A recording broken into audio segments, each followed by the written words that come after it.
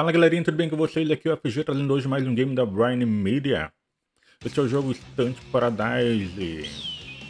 Um jogo super bacana, com 10 conquistas atualmente, que dá pra gente fazer em 12 minutinhos. É um jogo bem legal da Brian Media. Eu gosto bastante dos jogos deles, porque as músicas aqui são bem legais e a gameplay é bem divertida. Então aqui a gente começa com esse carro vermelho, no nível 1. Precisamos completar 10 níveis para termos aí o 1000G então aqui tem os controles básicos do jogo, a gente só vai acelerar e ficar inclinando o carro. Então acelera com RT. A gente pode dar a ré também com LT.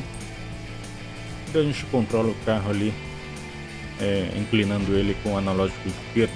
Aqui então a gente tem que dar a ré para apertar naquele botão e liberando ali a passagem para a gente conseguir passar na rampa.